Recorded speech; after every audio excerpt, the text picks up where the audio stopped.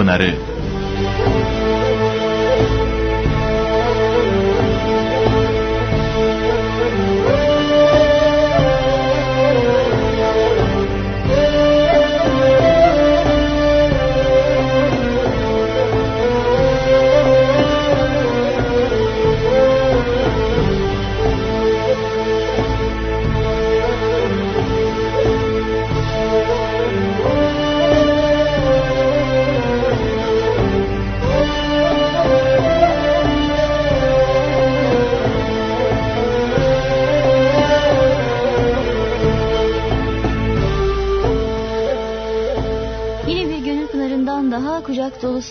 ve sevgilerimizi sunarak başlıyoruz programımıza sevgili dinleyiciler.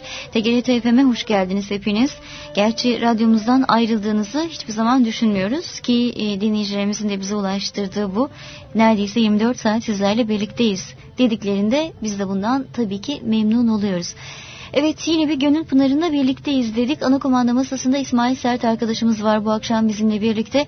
Programı sizler için Sayın Osman Ünlü hocamız hazırlıyor ve sunuyor. Ve ben Fatma Beyza Tütüncüoğlu.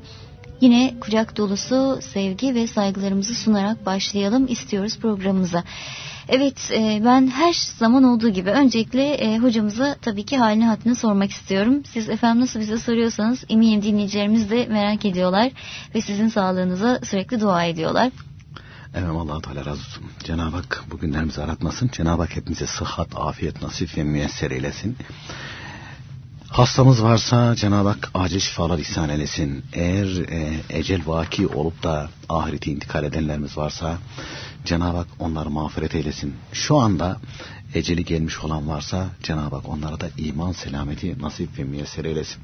Ve Rabbim, Rabbimiz hepimiz için hakkımızda hayırlı olanı nasip ve müyesser eylesin. Ve Cuma gecemiz de bu vesileyle hayırlı ve mübarek olsun diyoruz efendim. Amin inşallah. Tabi dünya fani. Hepsi gelip geçici. Hiçbir şey baki kalmıyor. Hastalık da gelip geçici, nimet de geçici, sefa, sefası da cefası da dünyanın hepsi geçici. Baki olan nedir? İnsanın yanında hiçbir şey baki kalmıyor mu? Kalıyormuş Fatma Hanım. O kalanlar da yaptığı iyiliklerle yaptığı kötülüklermiş. Başka bir şey kalmıyormuş. Hepsi gidiyor. Çünkü Cenab-ı Hak hepsini bu dünyada emanet olarak vermiş. Öyleyse e, insan, e, bir insanın iyi düşünmesi e, ve bu dünya pazarında kendisine verilen ömür sermayesini iyi kullanması gerekir. Bu ömür sermayesini de iyi değerlendirebilmesi için, iyi kullanabilmesi için insan peki demesini öğrenmesi lazım. Yani söz dinlemesini öğrenmesi lazım.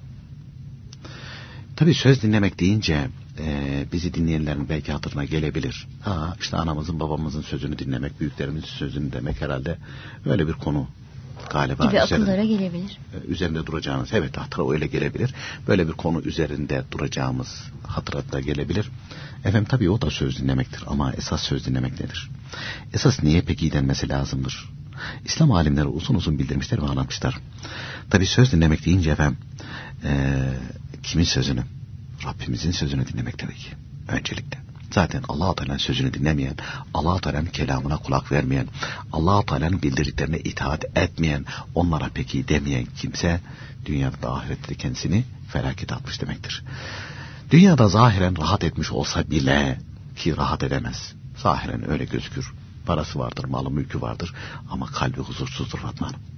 Mümkün değil. Yani Allah Teala iman etmeyen bir kimsenin kalbi huzurlu olması mümkün değil. Öyle olmuş olsa kendi memleketimizde bile birçok zenginler var, zengin çocuklar var.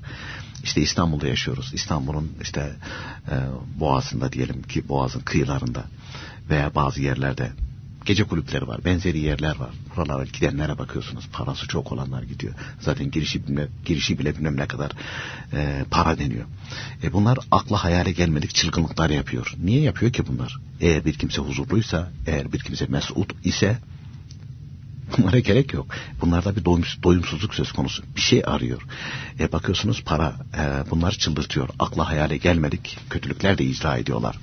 Her türlü zehiri, alkol dahil olmak üzere esrarıydı, eroiniydi veya benzeri e, zehiri kullanabiliyor. Niye? Tatmin olmak için. E, bakıyorsunuz iki günlük, üç günlük bir tatilde bunlar dünyanın bilmem nerelerine gidiyorlar. Niye?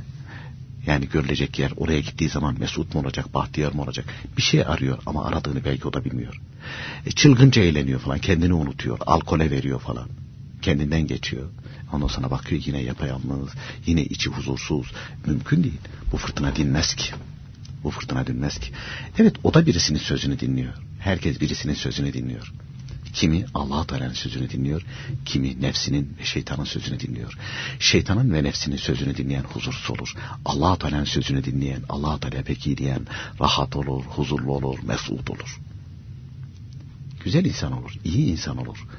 Yani onun için yani e, yani Allah Teala iman etmiş, Allah Teala'nın sözüne kulak vermiş, emrine kulak vermiş ve Allah Teala peki demiş bir mümin sarayda değil, e, sazdan yapılmış bir kulübenin içinde bile huzurludur. Mesela köyde doğup büyüdüm. Yani çocukluğum köyde geçti. O dönemlerde hatırlarım. Babaannemler kuşaklarını hatırlarım. Bunlar fazla gezip tozmamışlardır. Ama huzurlu insanlardı Fatma Hanım. E, baharla beraber yaylalara çıkılırdı. O yaylalarda yapılan evler, yani kulübe gibi böyle şeyler yapılırdı falan. İki tane taş duvar, üzeri ağaç bir işte dam örtü o kadar yani. Penceresi çerçevesi falan yok. Bahar günü zaten yaza geliyor. Oraya bir işte penceresine ve kapısına bir kilim tutulur o kadar. Ama o e, taştan kulübe içerisinde tol tabiri kullanırlardı ne demekse e, öyle yerlere böyle tabii insan işte ayakta durabiliyor falan. Oraya işte yatacak bir şey seriyor falan oturuyor. E, o bir tek oda yani. Bir tek oda. Onun içerisinde aylarını geçiriyor. Ama bu insanlar mesuttu, huzurluydu, rahattı. Gönülleri rahattı. Namaz vakti gelince orada namazlarını icra ederler. Herhangi bir strese girmezler. Depresyon yok. Ne bileyim ağrısı söz konusu değil. Her zaman mütebessim. Ve e, tevekküllerine gıpta ederdim. Kanaatlerine gıpta ederdim e, hayvanlar mesela e, diyelim ki koyunlar, keçiler sağılır veyahut da sığırlar sağılır. E, sütüne bereketle dua edilir. Rabbimiz ihsan etti denir. Buğdaylar ekilir. Elde edilen hasılata bereketle dua edilir. Cenab-ı Hak ihsan etti. Yine bizi aç bırakmadı denir. Kanaat edilir. E, bu insanlar dünyayı gezmek için herhangi bir şekilde bir e, ihtiyaç hissetmiyorlardı. Doğup büyüdükleri yer, gördükleri 3-5 tepe dağ veyahut da orman olarak 3-5 çamlık yahut da meşelik işte gördükleri e, koyun, e, keçi, sığır, belki deveyi ömürlerinde ya gördüler ya görmediler. Varlıklarını duymuşlar. Merak da etmezler. Böyle bir hayatları var. Bütün dünyaları o ama hiçbir zaman şikayetçi değillerdi. Niye? Bir şeye peki diyorlar. Peki denecek yeri iyi öğrenmişler. allah Teala peki diyorlar. allah Teala rızasına peki diyorlar. Cenab-ı Hak onları ezelde orada yaratmış. Bunlara bir itirazları yok.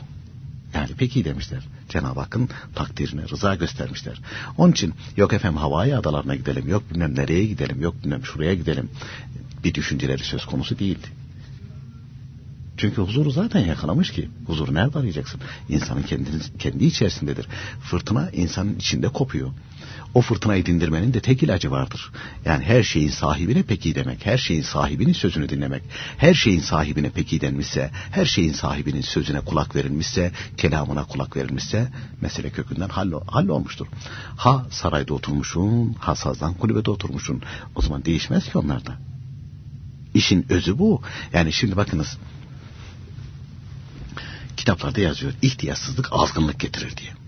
İhtiyatsızlık azgınlık getirir e, doyumsuzluk ve o doyumsuzluğun neticesinde de huzursuzluk gelir. Bu değişmeyen bir kaidedir. Bazen e, çok kimse hayret eder, şaşar. Fakirdir, gariptir, boynu büküktür. Ama e, Cenab-ı Hakk'ın e, emrine kulak vermiştir. Onun rızasını hedef olarak kabul etmiştir. E, eline geçene kanaat eder. Başkasının makamında, ilminde, ne bileyim güzelliğinde, yakışıklılığında evinde, e, mevkisinde, parasında, pulunda gözü yoktur. Eline geçene kanaat eder. Kendisine düşen işi herhangi bir şekilde elbette o da bir insandır, bir iş yapıyordur. Onu Allah korkusuyla icra eder. Yani e, kul hakkı üzerine geçmesin diye titrer. Ve kendi imkanı nispetinde onu dürüst yapar. E bu kimse rahat olur Fatma Hanım. Rahat olur. Çünkü çalmadı ki bir başkasının kapısını da çalmadı. Niye bunun kapısı çalınsın? Niye bunun kapısı çalınsın? Böyle bir endişesi de söz konusu değil. Kendisi iffetin namusunu muhafaza ettiği için bir başkası bunun iffeti namusu hakkında herhangi bir şekilde e, kapısını çalmaz ki, yan bakmaz ki. O Allah-u Teala tevekkül etmiştir. Rıza göstermiştir. Ya da Cenab-ı Hak muhafaza eder. Evet muhafaza eder. Yani. Cenab-ı Hak muhafaza eder. Korur. Nitekim böyleler hayatta çok olmuştur. Hayatta çok olmuştur. Yani gerçekten Allah Teala'nın kelamını dinleyen, Allah Teala'nın sözünü dinleyen hep aziz olmuş. Zahiren sıkıntılar çekmiş ama zaten Cenab-ı Hakk'ın sözüne kulak veren, onun emrini dinleyen Fatma Hanım çok güzel söylediniz. Cenab-ı Hakk'ın muhafazası altına otomatik olarak girer. Ama kalben çok mesrurdur o. Bedenen ızdırap çekiyordur. Ama kalbi içi içine sığmıyordur. Zahiren ızdırap çekiyordur. Bakınız e, yeri geldiği için onu nakledi verelim. Rabia-i Adviye Hazretleri için anlatırlar. Anlatılır daha doğrusu. Bir zamanlar e, hanım evliyadan Rabia Yardiye Hazretleri hastalanmış. Ziyaretine gelenler diyorlar ki ey Rabia sana gelen bu hastalık çok ızdırap verdi. Dua etti allah Teala çektiğin bu ızdırabı hafifletsin, bu sıkıntıyı hafifletsin, bu hastalık senden gitsin dediklerinde cevaben buyurur ki siz biliyor musunuz, biliyor musunuz ki bu ızdırabı çekmemi allah Teala irade etmiştir. Yani bilmiyor musunuz bu hastalığı bana Rabbim verdi. Onun ezeldeki iradesi böyle. Benim ne itirazım olur ki? E diyorlar ki evet biliyoruz yani allah Teala tarafından gönderildi sana bu. E bunu bildiğiniz halde diyor onun iradesine muhalefet etmemi, ondan tersini dilememi nasıl isteyebilirsiniz? Dedikleri zaman ey Rabia peki senin arzun nedir diye soruyorlar Rabia Yadiye Hazretleri'ne. Rabia Yadiye Hazretleri de Kaddesallahu Teala esrarahım allah Teala benim hakkımda ne irade ve ne takdir etmişse ona razı olmaktır cevabını vermiştir. Bu müthiş bir şey ama zahiren ızdırap çekiyor. Ama o Cenab-ı Hakk'ın takdirinden razı. Cenab-ı Hakk'ın takdirinden razı. Rabbim benim için böyle takdir etmiştir. Ya falan niye hastalanmıyor diye itiraz yok. Falanın başına niye gelmiyor? Böyle bir düşüncesi yok. Böyle bir üzüntüsü yok. Stresi yok. Depresyon da yok tabii. Sinir hastalığı da yok. Niye? O içindeki hali kabulleniyor. Cenab-ı Hak benim hakkımda böyle takdir etmiştir. Peki efendim sebepler yapışmayacak mıyız? Hani dinleyicilerimizin hatırına gelebilir. Doktora gitmeyecek miyiz? İlaç almayacak mıyız? Elbette. Doktora gideceğiz, ilaç alacağız. Onlar sebeptir. Cenab-ı Hak emrettiği için o sebeplere yapışıyoruz. Mesela şimdi ee, biz ne yapıyoruz? Rabbimiz emrettiği için çalışıyoruz. Cenab-ı Hak ezelde rızkı takdir etmedi mi? Etti. Peki bu sebebe, ha ben bu sebepten bilmiyorum bunu. Bu sebebi yapışmamı o emretti. Farz olduğu için yapışıyorum ben. Doktora git diye emrettiği için gidiyorum. Doktor e, doktorun verdiği ilacı kullan. Ben şifayı öyle yaratıyorum, öyle gönderiyorum dediği için ben bunu yapıyorum. Yoksa bunların hepsini veren, yapan Cenab-ı Hak'tır. Yaratan Cenab-ı Hak'tır. İşte Rabia Adviye Hazretleri bunu bildiriyor. Yani madem Cenab-ı Hak verdi, niye Cenab-ı Hakk'a muhalefet etmem, ona itiraz etmem için bana bunu söylüyorsunuz? İtiraz edilir mi? Ben onun sözüne kulak verdim. Onun sözünü dinliyorum. Ben ona peki dedim. La ilahe illallah Muhammedur Resulullah dedim. Eşhedü en la ilahe illallah ve eşhedü enne Muhammeden abduhu ve rasuluh dedim buyuruyor. Ben söz dinledim.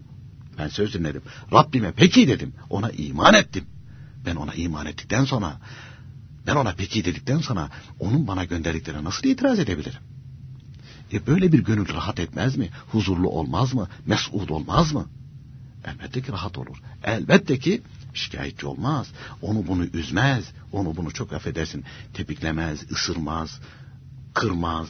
İlgilenmez. İlgilenmez. Kimsenin mevkisinde, makamında, gözünde, kaşında, boyunda, malında, mülkünde, evladı yerinde olmaz. Kötülükler bulunmaz o kalpte artık. O kendiyle meşguldür. Rabbi ile meşguldür.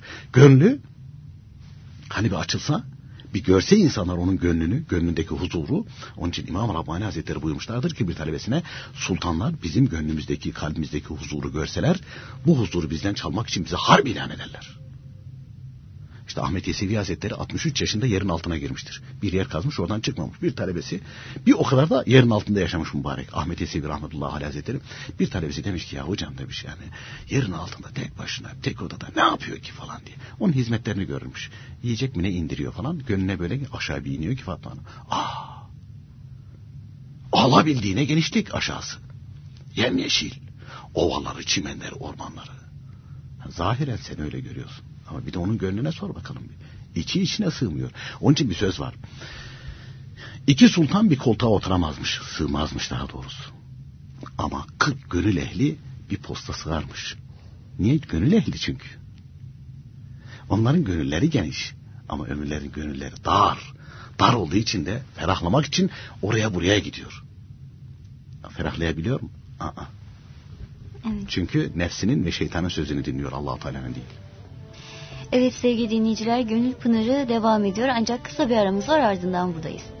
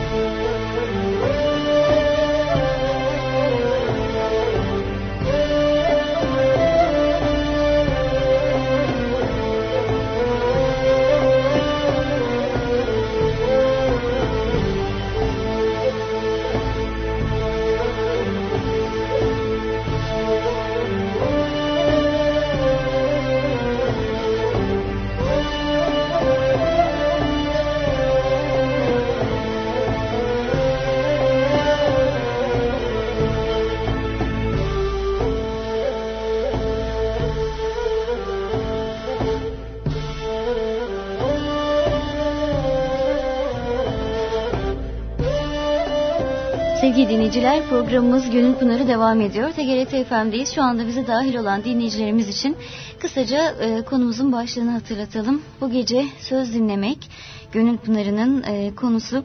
Efendim e, az önce bahsettiğiniz hani insan hep e, hem ülkemizde hem yurt dışında sürekli yapılan şey insan mutluluğu için çaba sarf etmek. Fakat onların da hani gösterdikleri güzel bir jip mesela bir mutluluk aracı. İyi bir evde oturmak, iyi bir semtte oturmak, kariyer yapmak, mutluluk aracı Kaliteli bu. elbise giymek. Evet kaliteli giyinmek, güzel görünmek. Ama e, sonuç olarak yine e, istatistikler bize bildiriyor ki e, Avrupa'da işte intihar oranları çok fazla ya da Amerika'da. Ondan sonra e, sarhoşlar, işte içki düşkünlüğü ya da uyuşturucu. Az önce söylediğiniz gibi demek ki o iç huzuru çok daha başka yerlerde ki e, aradığımız şeyler ya da bize gösterilen hedefler e, o iç huzursuzluğunu e, çoğaltan, arttıran faktörler olarak çıkıyor karşımıza.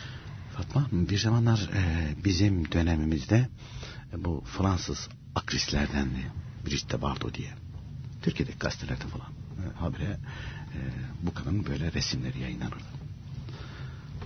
Bu kadın şimdi yaşlandı. Tabi para çoktu. Daha önce fiziken o zaman dünyanın her tarafında işte bundan daha güzel yok diye reklam ediliyordu. Tabi o güzellik gitti, o itibar gitti. Bu kadın şimdi kendisine böyle kale içinde bir ev yapmış, köpeklerle yaşıyor. Peki yani o çirkin şekilde gözükmemek için mi efendim? Hem ondan gözükmemek için hem de e, köpekler diyor insanlardan daha sadık. Çünkü netice itibariyle kendisi niye değer veriyorsa çevresindekiler de ona değer veriyordu. Kendisi niye değer veriyordu? Zahire değer veriyordu. Peki onun çevresindekiler niye değer veriyordu? Onlar da zahire değer veriyorlardı. Zahir e, bakıldı bozuldu. At çöpe gitsin. Ondan sonra kadın e, tamamen kendisini izole ediyor. İşte böyle şato gibi bir ev yapıyor oraya çekiliyor. Parasını köpeklerle yiyor.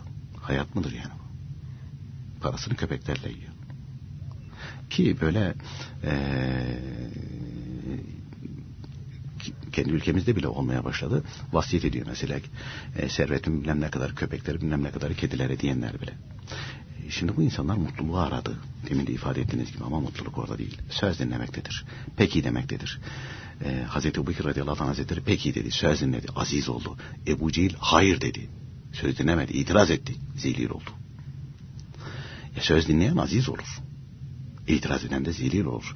Din büyükleri buyuruyorlar ki her şey söz dinleyene verilir. Her şey.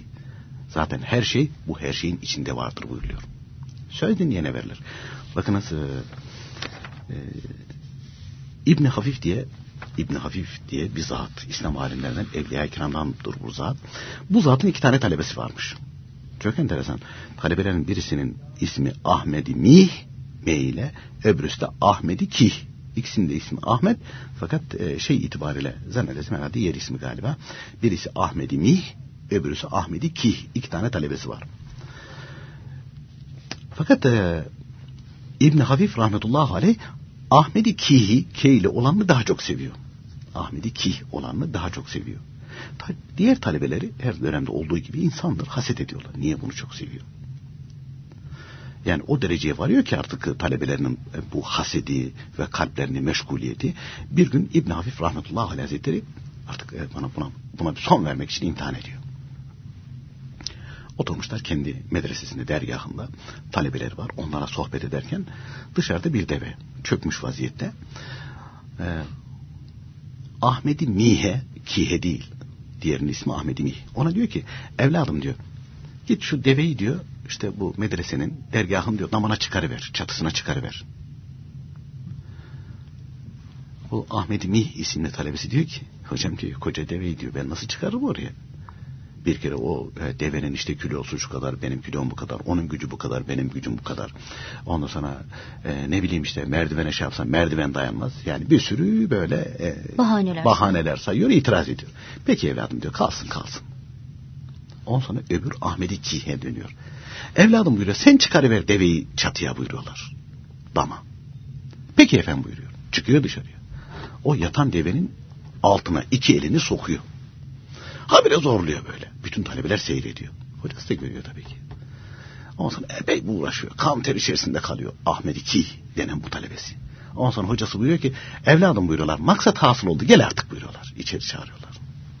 Dönüyor talebelerine anladınız mı buyuruyorlar. Onun için çok seviyorum. Ahmet İmik'te itiraz var. Bu arkadaşınız buyuruyor. Bir sürü kendi kafasına göre deliller getirdi ve itiraz ediyor. Ama o bir şey söylendi itiraz etmedi. Gitti peki dedi söz dinledi. Bu her konuda böyle sadece bu konuda değil. Onun için bu daha çok sevgilidir. Allahü Teala'ya da en çok allah Teala'nın sözünü dinleyen sevgilidir. Kim allah Teala peki derse o sevgili olur. Kim allah Teala'nın sevdiklerine peki derse o sevgili olur. Bunun ölçüsü böyledir buyuruyor Fatma Hanım. Daha önce de hocam aktarmıştınız. Hani şeytanın kovulma e, sebebi de... itirazdır. Peki dememektir. Ben de üstünüm dedi.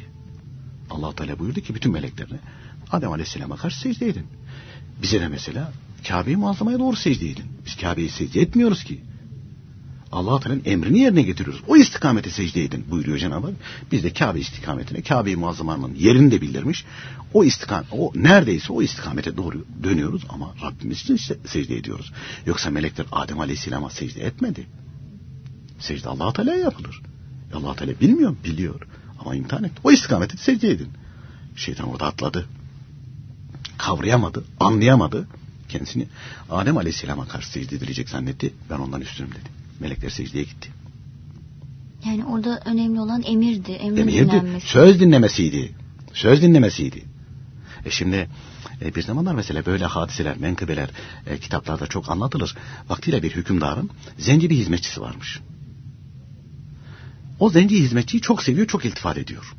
Şimdi o hizmetçilerin içerisinde beyaz renkli olanlar da var falan. Bunu kıskanıyorlar, haset ediyorlar. E, diyorlar ki ya bunun ne özelliği var ki bunu bu kadar itibar ediyor. Sultan buna değer veriyor, kıymet veriyor falan. Bir gün e, sultanın kulağına geliyor, vaziyeti anlıyor. Bütün hizmetçilerine ellerinde böyle e, çok güzel nadide mücevherlerden yapılmış kristal bardaklar veriyor. Herkes huzurunda bu nadide taşlardan donatılmış, yapılmış e, kristal bardaklar ellerinde tutuyorlar böyle. Hükümdar geliyor koltuğuna oturuyor. Emrediyor buyuruyor ki atın yere elinizdeki kristalları. Sadece o zenci tak diye atıyor paramparça oluyor. O nadide mücevherlerden yapılı e, o kristal bardak paramparça. Tuz buz olmuş hiçbir şeycik yok. Öbürleri dedi ki diyorlar şimdi apı yuttun sen. Sultan diye bu kadar kıymet verdi, değer verdi, bir sürü para verdi, getirdi böyle nadide e, cevherleri, cevherlerle süslenmiş bir kristal bardağı. Sen attın bundan sonra diyor sen diyor burada da hükümdarın huzurunda da bulunamazsın gibi kalplerinden geçiyor. Dönüyor sultan öbürlerine diyor ki siz niye atmadınız? Aman efendim diyorlar. Bunlar çok kıymetlidir. İşte şöyle e, kıymetli taşlardan donatılmıştır. Bunlar için siz böyle böyle zahmetler çektirdiniz, getirdiniz, yaptırdınız, ettirdiniz. Ya bunlar o kadar çok kıymetli ki bunlar diyor atılır mı, parçalanır mı? Aferin diyor. Peki. Dönüyor ona. Bak diyor arkadaşlarım böyle böyle diyor. Böyle kıymetli hem de sanat eseri olan bir şeyin parçalanmayacağını idrak etmişler. Sen niye aynı şekilde parçaladın? O zenci hizmetçinin cevabı. Diyor ki efendim. Çok kıymetli taşlarla donatılabilir. Çok sanat harikası olabilir. Çok güzel desenlerle de süslenmiş olabilir. Belki bir daha benzeri yapılamayabilir. Ama sultanımın emri benim için bunlar değil. Bunlar gibi milyonlarca milyarlarca cevherden, mücevherden, işlerden, sanatkarın ortaya koymuş olduğu işlerden daha kıymetlidir. Benim için önemli olan sultanımın sözüdür. Hiçbir cevher sultanımın sözü yerine geçemez diyor. Ya ya sevilmesinin sebebi buymuş. Söz dinlemesi. itaatidir. Söz dinlemesidir. Öbürleri kendi aklının yani kendi akıllarına tabi oldu. Nefislerine tabi oldular. Evet onlar da söz dinledi. Ama nefislerinin sözünü dinlediler. Nefislerinin sözünü dinlediler.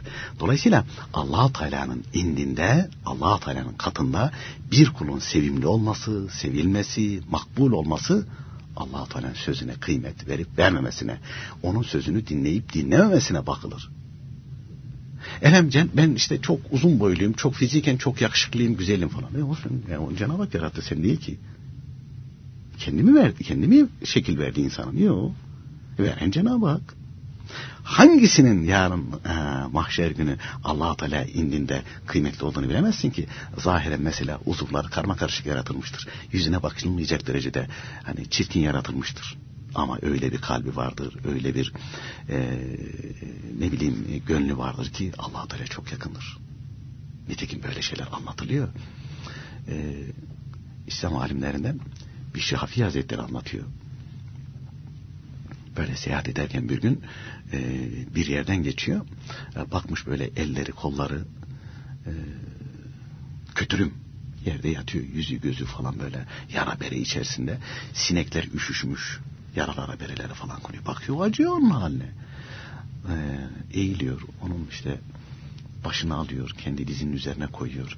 Sinekleri kovalıyor. Yaralarını falan tımar edecek. Bakmış böyle iniltiyle karışık bir ses duyamıyor. Kulağını böyle iyice e, yaklaştırıyor ağzına. Söylediği söz dehşet, dehşet verici bir söz. Diyor ki Rabbimle benim arama giren bu edepsiz kim diyormuş o elleri ayakları kötürüm. Sinekler gelmiş böyle her tarafını yara beri içerisinde yiyip yiyorlar falan ısırıyorlar. Diyor ki kim, e, kim diyor Rabbimle benim arama giren bu edepsiz.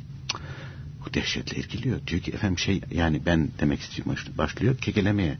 Yani ben size yardım etmek istiyorum falan işte sinekler yaralarımız falan filan böyle karıştırıyor. Diyor ki sana ne? Sana ne? Rabbim beni sineklere yedirme, yedirmeyi murad ettiyse, yara bere içerisinde tutuyorsa, ben onu gönderdiğinden razıyım diyor. Sen ne karışıyorsun ki? Çekil aradan. O sinekleri yaratan o değil mi? O. E, dilerse sinekleri emir verir, çeker gider. E, sinekler gelmiş benim yaralarımı yiyecekler. Rabbim de buna izin veriyor. Sen ne karışıyorsun ki diyor ya. Sen ne karışıyorsun? Çekil aradan. Oradan çekiliyor, dua ediyor. Ya Rabbi diyor. Bu kim? Hangi kulun? Yani allah Teala zahiren onu gizlemiş. Bunu bunlar sevdiklerimdir. Sadece ben bilirim buyuruyor Cenab-ı Hak. Sevdiklerimdir. Şimdi e, o zatın o zatın zahiren elleri ayakları kötürüm. Yüzü gözü yara bere içerisinde. Peki gönlüne bak bakalım bir. Belki o yaraları duyuyor mu, işitiyor mu?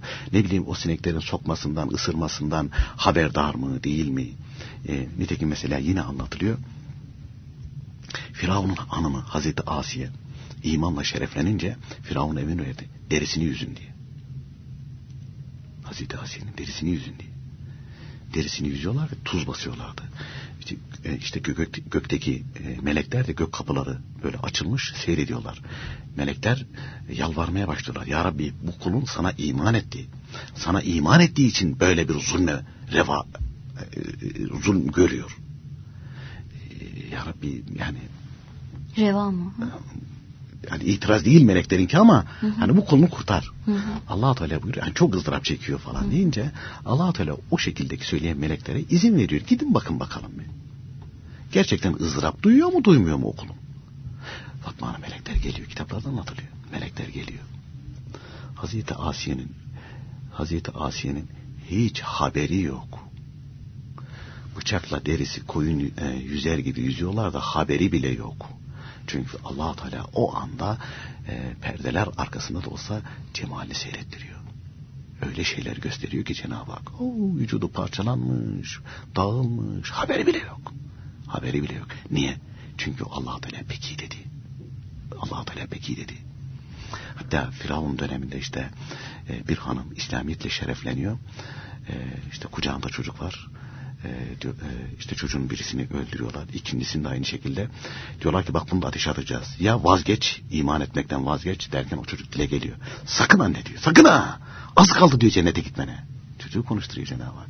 Küçük kucaktaki çocuk. Az kaldı. Peki dedim allah Teala bu sözünde diyor dur. Bu sözünde dur. Az kaldı diyor. Az kaldı. Sonra ufkunu bir açıyorlar ki aha gideceği Allah sana ateşe atmış, şey atmış. Haberi bile olmuyor. Onun için söz dinleyen aziz olur. Peki diyen aziz olur. Onun için din büyükleri buyurmuşlar. Her şey söz dinleyene verilir. Her şey söz dinleyene verilir. Ama kimin sözünü? allah Teala'nın. Allah Teala'nın onun peygamberin aleyhissalatü vesselam o peygamberin aleyhissalatü vesselam varislerinin rahmetullahi teala aleyhi mecmain sözünü dinleyen aziz olur.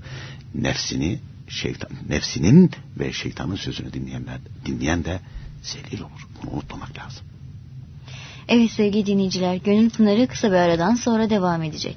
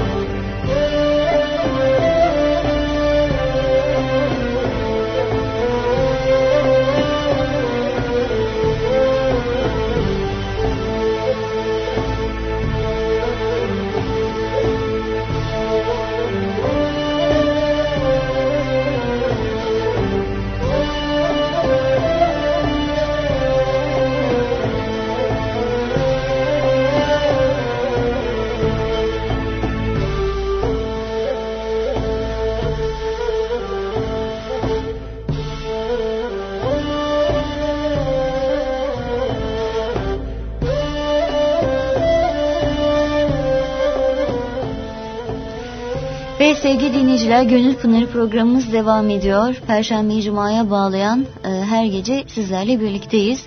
Bu güzel Cuma gecesinde de e, yine güzel bir konumuz var. Umarım e, her hafta olduğu gibi bu güzel dileğimizi tekrar edelim. Hayatımızda yaşamak, hayatımızın her döneminde tatbik etmek hepimize nasip olur. E, çünkü hem dünya hem aile saadetimiz burada gizli değil mi efendim? Aynen öyle. Bu çok güzel efendim. Yani hani dünyada da Cenab-ı Hak mutlu ediyor. Ahirette Elbette. de. Yani hani maddi olarak tabii dışarıdan hep anlattığınız programımız boyunca ne olduğu çok önemli değil demek ki o insan iç huzurunu, saadetini yakalayınca. Elbette. Çünkü e, o onu yakalayınca insan rahat olur, huzurlu olur, ele geçene kanaat eder ve Cenab-ı Hak e, hiç ummadığı yerden ona rızık gönderir. Ve elinde diyelim ki iki dilim ekmeği bile olmuş olsa onu yediği zaman Cenab-ı Hak çünkü doyma hissini veren Cenab-ı Hak'tır. Ee, o rahat eder, huzurlu, huzurlu olur, sıkıntı çekmez. E niye? Eline geçene kanaat eden bir kimse sıkıntı çekmez ki Fatma Hanım. Ben çocukluğumda hatırlarım. Yani bir kıtlık döneminden kurtulmuş. Bizim doğduğumuz dönemler artık refah seviyesi yükselmeye başlamış. O kıtlık dönemini annemler, babamlar, babaannemler yaşamışlar. Ee, oradan intikal edilmiş. Tabii onların o kıtlık döneminde elde ettikleri bazı meziyetler var. Onlar bize sözde davranışla intikal ettiriliyordu. Yani elimize e, bunu laf olsun diye söylemiyorum. Şimdi, şimdi erkeklerin bu giymiş olduğu şu e, gömleklere Frank gömleği deniyordu. Yakalı gömleklere. Frank gömleği. Daha ilkokulu bitirmeye yakın bir dönemde babam bir tane böyle naylon bir Frank gömleği getirmişti. Bu yakalı gömlek getirmişti. Sadece bayramdan bayrama giyerdik. Giyer işte öğleye kadar şey yapar çıkartılır gene yerine konurdu o. Ama hiçbir zaman böyle tedirgin olmazdık, rahatsız olmazdık. Onu giyince bir haz duyardık. Ya tabii kendi emsallerimi bir gösterelim bak benim frek gömleğim var falan diye. O kadar. Ya onun dışında annemize babamıza sıkıntı vermezdik. Çünkü onlardan onu görmüştük. Bu bir eğitim meselesiydi. Ve elimize geçene de kanaat ederdik. Ha, lastik ayakkabılar giyerdik. Moda olsun diye değil Hanım. Yoktu bu ayakkabılar. Onları giyerdik. Ama hiçbir zaman sıkıntılı olmazdı hiçbir zaman sıkıntılı olmazdı. Ee, eğer elimizdeki ekmek kuruysa ıslatır yerdik. Dert edinmezdik. Çevrenin de çok önemli bir rolü var herhalde Elbette. değil mi hocam? Şimdi böyle ihtiyaç olmayan şeyler sanki herkes tarafından bir ihtiyaçmış gibi. Bir de sanki evde bir şey eksikse e, yani aa bak şu da yok gibi böyle sanki farklı bir baskı mı var insanı böyle sürekli başka şeylere maddi şeylere iten bir baskı mı var? Tatminsizlik var. İnsanların iç huzuru yok. Yani her ne kadar bakıyoruz e, e, din büyüklerinden şu anda ismini hatırlayamayacağım. Dikkatim çekmişti de buyuruyor ki o zat çok kimse e, Allahu Teala'ya iman eder. Namaz da kılar ama ahirete inanmaz. Dehşetle irkilmiştim. Aa ne demek bu? Allah Teala inanacak, iman edecek, ahirete inanmayacak. Devamı var açıklamasında buyuruyor, buyuruyorlar ki e, ahirete inanan kimse ahirete inanan kimse kul hakkından çok korkar. Günahtan çok korkar. Mesela e, yine buyuruyorlar orada dikkatimi çekmişti. E, şimdi allah Teala iman etmiş söz vermiş ama sözünde sadık değil. Sözünde sadık olan yani söz dinleyen bir kimse söz verdiği zaman söz dinliyorsa her zaman dinler. Mesela diyor ki ben diyor Rabbimin sözünü dinlerim. Ona iman ettim. Güzel mübarek olsun. Ama namaz kılmıyor. Namazın içindeki ve dışındaki farzların tamamı 12 tanedir. Yani her namazda 12 tane farz var Fatma Hanım. 12. 5 ile çarp bunu. 60 tane farz var. 60 tane. Ya her gün bir insan Allah-u Teala 60 defa itiraz ediyor sadece namaz kılmamak suretiyle. Hem sen söz dinliyordun. Hani Cenab-ı Hakk'a peki demiştin. Namaz kılmamak suretiyle her gün her gün Allah-u Teala'ya 60 defa itiraz ediyorsun. İsyan ediyorsun. Günaha giriyorsun ya. 60 defa. 12 farz. Çarp. 5 ile çarptığın zaman 60 eder. Her gün 60 defa Allahu Teala'ya itiraz ediyorsun. Cenab-ı Hak muhafaza eylesin. Bakın Ebu Abdullah Rubbari Hazretleri var. Bu zat buyuruyorlar ki muhabbetin alameti. Efendim ben Rabbimi seviyorum. Seviyor muyuz? Sevmiyor muyuz? Bakalım. Muhabbetin alameti muvafakat yani emredilene uyup peki demektir. Söz dinlemektir. Muhabbetin alameti. Ben Rabbimi seviyorum. Seviyorsan bunun işareti var. Alameti var. Emredilene uyup peki demektir. Şimdi Fatma Hanım bu silsile yoluyla geliyor. Mesela e, allah Teala iman ediyor. Resulullah sallallahu aleyhi ve sellem Efendimiz'e itiraz ediyor. allah Teala'ya inanmamış olur. allah Teala sözünü dinlememiş olur. Resulullah sallallahu aleyhi ve sellem Efendimiz'le kabul ediyorum diyor. Ama onun varisi olan İslam alimlerine itiraz ediyor. Resulullah Efendimiz'e yine inanmamıştır. Olur mu öyle şey ya? Olur mu öyle şey? Hakiki manada bir ehl-i sünnet alimine itiraz Peygamber Efendimiz'e ve allah Teala'ya itiraz demektir. allah Teala'nın ve Peygamber Efendimiz'in sözünü dinlememek demektir. Mesela daha önceki asırlarda böyle alim ve evliya zatlar vardı. Onların medreseli dergahları vardı. Talebeleri o zattan istifade edebilmek için, o zattan istifade edebilmek için pervane olurlardı. Yani Eshab-ı Kiram Aleyhimrudan Efendilerimizin Peygamber Efendimizin etrafında pervane oldukları gibi. Çünkü o zat da varistir. Peygamber Efendimizin varisidir. Ve Peygamber Efendimizin Aleyhisselatü Vesselam mübarek kalbinden çıkıp o varisleri vasıtasıyla insanlara gelen, insanların kavuşmak istedikleri nur o zatın kalbindedir. Peygamber Efendimiz'den gelen nur. Ona kavuşabilmen için peki demen lazım. Mevlana Halid Bağdadi Hazretleri var. bu zatın bir talebesi e, bu karşıda şirketiniz bilmiyorum Atıf Fettah Akri Hazretleri var. Ziyaret ettiniz mi mezarını? E, bu karşıda İlahiyat Fakültesi var. O İlahiyat Fakültesi'nden Kadıköy'e doğru inen e, bir yol var. O yolun e, o taraftan geldiğiniz zaman ba, e, Bağlarbaşı deniyor oraya. E, oradan Kadıköy'e doğru inen yolun hemen e, sağ tarafında küçük mezarlık var. Hatta birisi de Allah razı olsun böyle bir tabelayla yazmış. Atıf Fettah Akri Hazretleri bu kabristandadır diye. Mesela bu zat Me Mevlana Bağdadi Hazretleri'nin talebesidir. Atıf Fettah Akri Hazretleri buraya gelmiş. Bir talep, başka bir talebesi daha gelmiş buraya. Mevlana Adı Bağdadi Hazretleri hayattayken.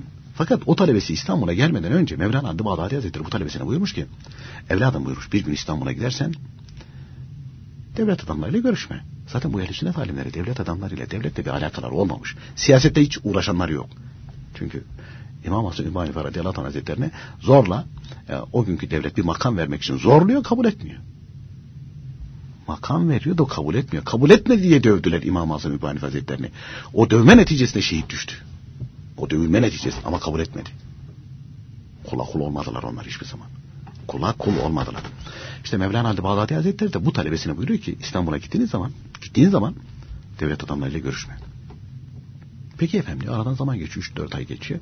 Hakikaten o talebe, hakikaten o talebesine bir davet geliyor İstanbul'dan. Geliyor efendim diyor böyle böyle İstanbul'dan bir davet geldi bize. Evladım buyuruyor git fakat önceki nasihatımı unutma. Devlet adamlarıyla görüşme. Ve artık bu insanları irşad edebilecek, insanlara Allah-u Teala'nın dinini anlatabilecek bir noktaya gelmiş. Öyle bir talebesi. Hakkı batıldan ayırabilecek donanımlar var, ilmi var, firaseti var, ahlakı var. Daha önceki kitaplarda böylelerine o zatın halifesi tabiri kullanılıyor. Öyle bir zat. Geliyor buraya. Bir gün o günkü devlet erkanından e, birisi davet ediyor bunu. Bir düşünüyor hocasının e, nasihat hatırına geliyor. Sonra kendi kendine diyor ki Allah Allah diyor ya hocam bana böyle dedi ama bakın söz dinleyip dinleme meselesi. Hocası ne buyurdu buna? Devlet adamlarıyla görüşme. Ee, ben diyor devlet adamlarıyla görüştüğüm zaman mevcut olan ilmimi, ondan sonra dinimi, imanımı kaybetmem ki. Yani benim ilmim var, aklım başımda. Ne yaptığımı, nasıl yapacağımı bilirim. Adımımı nasıl atacağımı bilirim. Ben devlet adamlarıyla görüşsem bana ne zarar olur ki? Diye kalbinden geçiyor ve gitmeye karar veriyor. O anda da Mevlana Halid Bağdadi Hazretleri'nin kalbinden bu talebesine akan nur şırak diye kesiliyor. Buna feyiz deniyor. Tak diye kesiliyor. Bir yokluyor kendisini. Ah! Gönlündeki o huzur, o agahlık gitmiş. Eyvah diyor ben diyor çok büyük hata etti. Ne yapacak şimdi? Burada itibar görmesi hocasının sebebiyle. Hocasının kalbinden bunun kalbine akan nur sebebiyle idi. E ne oldu? Ondan mahrum kaldı. Ver elini Bağdat geri dönüyor. Gidiyor. Tekrar yollara düşüyor hocasına. Buradan kalkıyor Bağdat'a. Evet. Tekrar dönüyor. Doğrudan doğruya hocasının huzuruna çıkaramıyor, çıkamıyor. E, hocasının e, yaşça e, böyle hayli ileride bir talebesi varmış. O zat da çok halim selim birisiymiş. Yumuşak huyluymuş. Çok merhametliymiş. Doğru. Bunların da hepsinin yaşça en ilerisindeymiş. Ona gidiyor. Yalvarıyor. Ne olur diyor hocamla aramda şefaatçi ol. Ben diyor böyle böyle bir terbiyesizlik yaptım. Edepsizlik yaptım. Ne olur hocam beni affetsin. Affetmesi diyor ben helak oldum. Mahvoldum. Perişan oldum. O zat da dayanamıyor. Gidiyor. Mevlana Bağdadi Hazretleri efendim diyor. Böyle böyle bir edepsizlik yapmış. Bir affedin. Mevlana Bağdadi Hazretleri buyuruyor ki bizden çıktı. Eyvah. Bizden çıktı diyor. Çünkü benim hocam Abdullah Dehlevi Hazretleri, onun hocası Mazhar Can Canan Hazretleri, onun hocası falan, onun hocası falan, onun hocası falan. Ta Resulullah sallallahu aleyhi ve sellem Efendimiz'e kadar gitti bu. Hepsinden tek tek tek özür dilemesi lazım. Bu da mümkün değil diyor. Benim yapacağım bir şey yok. Ona önceden söyledik. O söz dinlemedi diyor. Sevdiğimiz için, merhamet ettiğimiz için önceden söyledik ona. Hatırlattık. Hatırlatmasak bizi suçlu görür. Ama biz hatırlattık buyuruyor. İkaz ettik. Giderken de ikaz ettik. Ama o kendi aklına oydu. Bizim yapacağımız bir şey yok. Benim affetmem bir şey değiştirmez artık diyor. Benden önceki hocalarımın onu affetmesi lazım. Onlar da ahirete intikal etti. Efendim hiç mi çaresi yok diye soruyor. Bir tane var. Belki buyuruyor. Affederler. Belki. Nedir diyor. İşte belden üstten soyunacak. Ondan sonra böyle gidecek kömür karasıyla buralarını boyayacak, yüzünü boyayacak. Eşeğe ters binecek. Bağdat sokaklarında da Mevlana Halid Bağdadi Hazretleri'nin sözünü dinlemeyen adam işte budur bana bakın bana bakın diye dolaşacak böyle. Hani Üfta, Üftadi Hazretleri Aziz Mahmud İdi Hazretleri'ni ciğer sattırmış ya kaftanıyla. Bunu yaparsa affederler belki buyuruyor. O talebesi çok merhametliymiş efendim diyor. O diyor yapamaz bunu. Ben yapıversem onun yerine olmaz. Olmaz o iş. Ve yapamamış Fatma Hanım. Daha önceki o ilme de sahip olamamış. Orada kalmış. Ömür boyu ağlayarak gitmiş. Ha, imanını kurtarmıştı. O ayrı mesele. Ama o ilim tekrar geri gelmiyor. Söz dinlemek gerekiyor. Hatta Niyazi Mısri Hazretleri'nin bir talebesi varmış da Fatma Hanım. Böyle hayli hizmet ettikten sonra e, İsmi Azam duasını öğrenmek istiyor. İsmi Azam duası. Bir gün böyle e, diyor ki efendim diyor bunca zamandır sizin kapınıza hizmet ediyorum. Artık herhalde hak ettim değil mi diyor. İsmi Azam duasını öğrenmeyi bana öğretirsiniz artık. Bu defalarca şey yapıyor da en son bu şekilde böyle şey yapınca o zatı zora sokuyor. Hocasını zora sokuyor. Peki evladım diyor sen diyor bir dışarı çık da bir emanet var. Falan kasabada falan şehirde ona götürülecek. İşte bir testi veyahut öyle bir kap ağzı böyle tülbentle kapatılmış. Bunun içerisinde bir emanet de var diyor bu kabın. Bir testi düşün o testiyi. Bunu diyor o testiye götürdü o dostumuza veriverildi. Bırak gel diyor. Peki efendim diyor, alıyor testiyi yolda giderken. İşte kendi bulunduğu kasabaya çıkmış. Dağlar, tepeler, bayırlar. E, meralar, otlaklar böyle geçiyor falan. Bir yere gelmiş böyle otlar, motlar falan. Ağaçların bulunduğu bir yer. Bu için için bir merak başlamış. Bu testin içinde ne var? Çünkü arada bir tıkırtık geliyormuş testin içinde. Ne var, ne var falan demiş. Şuna bakayım demiş. Testinin ağzındaki bağlanan o bezi çözmüş. Çözünce bir fare tak diye otların arasına karışıyor. Kaybolup gidiyor. Nerede yakalayacak anasını? Oturuyor. Yapacak bir şey yok. Emanet yerine gitmeli. Geri dönüyor. Niyazi Misri Hazretleri buyurmuşlar ki ey evladım buyurmuşlar. Sen bir fareye bile sahip olamadın. İsmi azama nasıl sahip olursun? Yani değerini, kıymetini bilene. Heh, e, layık olana. Layık olana verilir. Yani sen söz dinlemesini bilmiyorsun bir kere. Söz dinlemesini bilmiyorsun bir kere. Önce söz dinle. Ee, Peygamber Efendimizin aleyhissalatü vesselam mesela Eshab-ı kiramdan bazılarına tevdi ettikleri emanetler vardı, sırlar vardı. Bu emanetler, bu sırlar Fatma haşa diye Eshab-ı kiram kötülemek için değil. Bazılarının yapısı, ka kabiliyeti, kapasitesi neyse o tevdi ediliyordu. Mesela Huzeyfe İbni Yemane radıyallahu anh hazretlerine Peygamber Efendimiz Müslümanların arasında bulunan münafıkların isimlerini vermişti. Bunlar, bunlar, bunlar, bunlar münafıktır diye. Ama zahiren bunlar Müslüman hazretleri için Müslüman muamelesi görüyorlardı. İşte Peygamber Efendimizin Aleyhisselatü Vesselam ahireti intikalinden sonra Hazreti Ömer devlet başkanı olmuştu. Ve Peygamber Efendimizin de Aleyhisselatü Vesselam münafıkların listesini Huzeyfe İbni Yemani Hazretleri'ne verdiğini biliyordu. Gidiyor bir öğleyin, öğle namazından önce yarım saat bir saat ki o e, Medine-i Münevvere'de Mekke-i Mükerreme'de öğleden önceki o vakit e, güneş bayağı insan böyle kebap edici derecede vuruyor. Bekliyor o sıcakta. Huzeyfe İbni Yemani Hazretleri hani kapıyı vurup da çağırmıyor. Namaza gelecek tabii. Kapıyı bir açıyor bakıyor ki Halife Müslüm'ün kapının önünde. Diyor ki efendim diyor. Hayırdır bir devlet işim yok diyor. Özel bir işim var onun için bekliyorum sizi. Hayırdır diyor.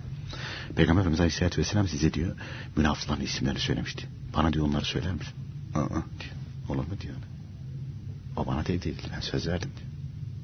Resulullah sallallahu aleyhi ve sellem Efendimiz bunları kimseye söylemeyeceksin. Ben diyor söz verdim. Vazifemiz söz dinlemek. Kimin? Resulullah Efendimiz sözünü dinlemek. O zaman Hazreti Ömer radıyallahu hazretleri diyecek bir şey bulamıyor. Peki diyor. Ama diyor yalvarırım ne olur diyor hiç olmazsa ben var mıyım yok muyum diyor. Onu söyle bari diyor. O kadarcık da izin verilmedi mi? Mübarek düşünüyor. Ondan sonra bakıyor. Diyor ki sen yoksun. Sen yoksun. Ha, Uzeyfe İbni Yemane radıyallahu anh hazretleri de bunları bildirmişti. Ama e, mesela Enes Malik Hazretleri'nin radıyallahu teala an, onun hayatında da var. Peygamber Efendimiz'e 10 sene fiili olarak hizmet etmiş. Çocukken verilmiş. Annesi Hazreti Rumeysa radıyallahu anha bir gün e, akşam gece geç geliyor eve. Diyor ki evladım neredesin? Resulullah Efendimiz diyor beni bir yere gönderdi. Nereye diyor? Bir dakika ne diyor ya? O diyor Resulullah sallallahu aleyhi ve sellem Efendimiz aramızda diyor sır. Ben diyor sana söyledikten sonra diyor o zaman diyor onun sözünü dinlememiş olurum. Resulullah Efendimiz sözünü dinlememiş olurum. Emanete ihanet etmiş olurum. Olur mu diyor. Tabi Hazreti Rumeysa radıyallahu anh daha çocuk yaşta Enes Malik Hazretleri'nin bu şekildeki böyle hal ve tavrı o kadar çok hoşuna gidiyor ki. Evladım diyor. Resulullah sallallahu aleyhi ve sellem Efendimiz'in sırrı elbette ki her şeyden üstündür. Anan da olsa kimseye söyleme. Tabi e, hoşuna gidiyor evladının bu şekilde böyle gayret olması. Hani konu konu yaştı, konu konu yaştı ta buraya kadar getirildi de e, önemli olan Demek ki söz dinleme deyince önce Rabbimizin sözü, sonra Resulullah sallallahu aleyhi ve sellem Efendimizin sözü. Ee, itiraz eden, itiraz eden mahrum kalır. İtiraz eden mahrum kalır. İşte şeytan itiraz etti mahrum kaldı. O kadar bilgisi vardı, o kadar ibadeti vardı mahrum kaldı. Nereden? Ebedi saadetten mahrum kaldı. allah Teala'nın gelen nurlardan mahrum kaldı. Kim olursa olsun allah Teala sevdiklerine itiraz eden de mahrum, kal mahrum kalır. Yani peki demeyen, diyemeyen, onların sözünü dinlemeyen. Mesela Mevlana Bağdadi Hazretleri buyuruyorlar. Ehlullah'a, Allah adamlarına itiraz eden kimsenin küfür üzerine öleceğini gösteren hadis-i şerifler vardır buyuruyor bu zat. Küfür üzerine öleceğini gösteren hadis-i şerifler var. Yani imansız gideceğine dair hadis-i şerifler var. E nasıl bunlara itiraz edilir? Nasıl bunlara aynı şekilde e, dil uzatılır? allah Teala bunlara Muhafaza dil uzatmaktan muhafaza buyursun. Şimdi mesela kitaplarda anlatılmış münakaşa hangi sebeplerden dolayı? İtirazdan kaynaklanır. Yani söz dinlememekten kaynaklanır. Dinimiz bize niye emredir? Kimseyle münakaşa etmemeli. Çünkü münakaşa dostluğu giderir, düşmanlığı artırır. Peki efendim onun sözünü dinleyecek miyiz? Hayır, söz dinlenecek yer belli. allah Teala'nın, onun Resulünün ve onun varislerinin sözü dinlenir. Efendim ana babanın, ana babanın sözleri eğer allah Teala'nın emrine uygunsa dinlenir, değilse itiraz edilmez, yine münakaşa edilmez. Çünkü Resulullah sallallahu aleyhi ve sellem Efendimiz e, açık net bir şekilde hadis-i şeriflerde münakaşa yasak etmişlerdir. Çünkü bunun altındaki yatan itirazdır, enaniyettir, enaniyettir, kibirdir. Mesela bir hadis-i şerifte kimseyle münakaşa etmeyen, haklı olsa bile diliyle kimseyi incitmeyen Müslümanın cennete gireceğine size söz veriyorum. Şaka ile veya yanındakileri güldürmek için olsa bile yalan söyleyenin, cennete yalan söylemeyenin cennete gireceğini size söz veriyorum. İyi huylu olanın cennetin yüksek derecelerine kavuşacağını size söz, ver, söz veriyorum buyuruyor Resulullah sallallahu aleyhi ve sellem Efendimiz. Bir başka hadis-i şerifte suizan etmeyiniz. Suizan yanlış karar vermeye sebep olur. İnsanların gizli şeylerini araştırmayınız. Kusurlarını görmeyiniz. Münakaşa etmeyiniz. Haset etmeyiniz. Birbirinize düşmanlık etmeyiniz. Birbirinizi çekiştirmeyiniz. Kardeş gibi sevişiniz. Müslüman Müslümanın kardeşidir. Ona zulmetmez, yardım eder, onu kendinden aşağı görmez. E yetmez mi bunlar? E yetmez, din, yetmez? Yeter tabii ki. Din büyükleri de hep bunları bizlere hep aktarmışlar ve netice olarak da e, mesela bu Ali Hafız Efendi var. O zat da talebelerine peki deyin itirazcı olmayın diye hep nasihat etmişler. Ve bütün din büyüklerine bakıyorsunuz aynı şeyleri söylemişler. İtirazın altında kibir vardır. Bu bugün sana itiraz eder, yarın allah Teala itiraz eder. Ama söz dinlerse allah Teala allah emirlerini yerine getiren kimse söz dinler. Resulullah Efendimizin emirlerini yerine getiren söz dinler. Dolayısıyla kendinden yaşça büyük, ilimce büyük kimse hemen itiraz etmez. İtiraz hatırına gelmez. Yanlış bile söylemiş olsa yanlış bile söylemiş olsa bile münakaşa etmez çeker gider. Yalnız efendim hep hatırlatıyorsunuz ya hani insan özellikle dini konularda başvurduğu kaynaklara dikkat etmeli değil mi? Ya da Elbette. e, hani şimdi böyle e, hocayım Elbette. diye ortaya çıkan ve e, hakikaten insanları yanlış yönlendiren Şimdi e, Fatma insanlar da var. Elbette. Onlara karşı da Mesela allah Teala'nın dini hakkında insanları münakaşa etmeye çağırıyor. Ne demek o ya? allah Teala'nın dini hakkında münakaşa mı edilirmiş? E 72 sapık fırka bu yüzden çıktı ya. Ama güzel bir konuya temas ettiniz. doğru adres, doğru yer önemli, doğru kitap önemli. Bu bulunursa mesele kökünden hallolur. Zaten buna kavuşan kimsenin kalbinde, gönlünde huzur olur. Mesela zaman zaman naklediyoruz. İnne zikreli salihin tenzilur rahmet. Bu hadis-i şeriftir. allah Teala'nın sevdiklerinin anıldığı yere rahmeti ilahi iner. Bunu nasıl hissedersiniz? Kalbinizde huzur olur, rahatlık olur, merhamet harekete geçer. Ve kendi kendinizin muhasebesini yapmaya başlarsınız. Başkasının o suyla bu suyla uğraşmazsınız. Bu hasıl oluyorsa doğru yoldasınız. Değilse yanlış yoldasınız. Efendim işte e, kim olursa olsun. Kim olursa olsun bu. Yani büyük bildiğin veyahut da e, ne bileyim alim bildiğin kim olursa olsun doğru adres gösteriyorsa amenna. Peki efendim biz bulamadıysak ne yapalım? O zaman da dua ederiz Fatma allah Teala vaadi var çünkü ya Rabbi ben seni seviyorum, sana kavuşmak istiyorum, sizi, senin sözünü dinlemek istiyorum ama nasıl dinleyeceğim ben bilemiyorum. Ya Rabbi bana doğruyu göster, doğru kimseleri göster, doğru kitap göster diyerek dua ederse allah Teala vallahi de billahi de o kimsenin önüne doğru insan çıkartır, doğru kitap çıkartır, doğru yolu mutlaka çıkartır. Yeter ki insan samimi olsun ve istesin. Hele böyle bir cuma gecesinde bu talep edilirse Cenab-ı Hak'tan niyaz edilerek, yalvararak, ağlayarak e, talep edilir ve istenirse Cenab-ı Hak da o kimseye bunu ihsan eder mi? Elbette ki ihsan eder efendim. Allah razı olsun hocam. Amin efendim. Gecemiz de hayırlı mübarek olsun tekrar. Amin efendim. Evet e, sevgili dinleyiciler her zaman olduğu gibi en büyük duamız öğrendiklerimizi hayatımıza tatbik edebilmek ve yaşayabilmek. E, önümüzdeki hafta tekrar buluşmak dileğiyle hoşçakalın diyoruz.